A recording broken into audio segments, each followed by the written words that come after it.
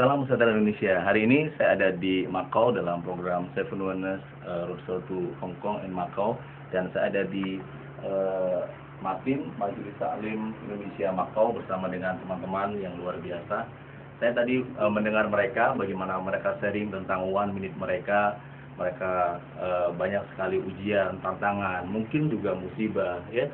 Namun saya memberikan satu motivasi singkat kepada mereka bahwa bahwa uh, kalau pisau diasah oleh batu, manusia diasah oleh manusia lainnya.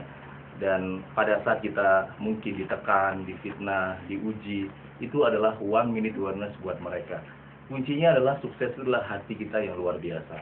Hati yang luar biasa adalah hati yang mudah memaafkan, hati yang mudah mengikhlaskan, hati yang mudah memberi, hati yang mudah menerima, hati yang mudah sedekah, hati yang mudah berbagi, hati yang mudah antusias dan sebagainya.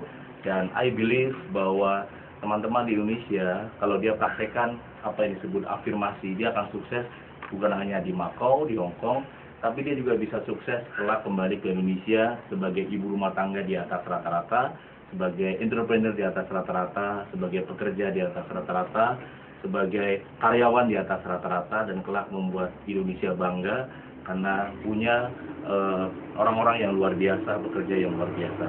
Saya uh, langsung dari uh, Makau, tepatnya di Matim, bersama dengan teman-teman yang luar biasa, yang semoga semua doa-doa mereka, semua harapan-harapan mereka, Tuhan kabulkan, ya Allah mudahkan, dan siapa pun Anda yang melihat ini, mari kita doakan semua impian mereka, agar Allah mudahkan dan mereka kembali memiliki impian dan mereka kembali menerima nikmat yang begitu besar dari Allah bersama dengan doa-doa kita semuanya. Saya Nanang Kosim Yusuf di Transhuman. Yes.